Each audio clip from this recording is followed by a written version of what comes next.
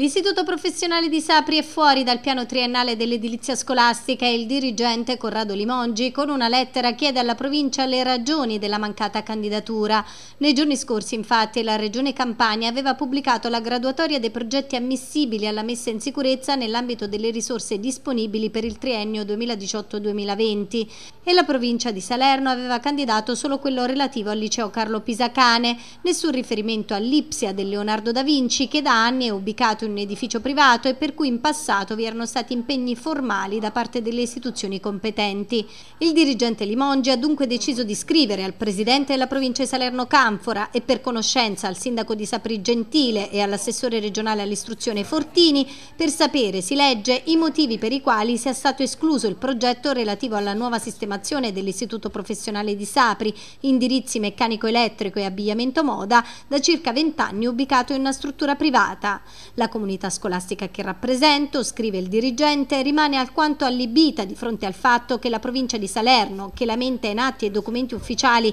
la carenza di risorse, continui a far pesare sul bilancio pubblico il costo dell'affitto della struttura e non abbia ritenuto tale situazione di assoluta priorità. Nessuna rivendicazione o ostacolo fa capire Limongi nei confronti delle altre scuole che hanno ottenuto l'inserimento nel piano triennale. La questione che si pone, chiarisce, è perché una priorità strutturale, didattica ed economica sia stata trascurata così clamorosamente. Limongi chiede dunque un riscontro formale in cui vengano spiegate le ragioni delle scelte dell'ente provinciale e le misure integrative o straordinarie che la provincia è intenzionata a mettere in campo per superare la situazione di stallo che si è venuta a creare. Per ragioni di spazio, chiude la missiva il dirigente, non allego alla presente istanza le innumerevoli lettere inviate in questi anni alla provincia di Salerno per segnalare la necessità di una nuova sistemazione per l'Ipsia di Sapri.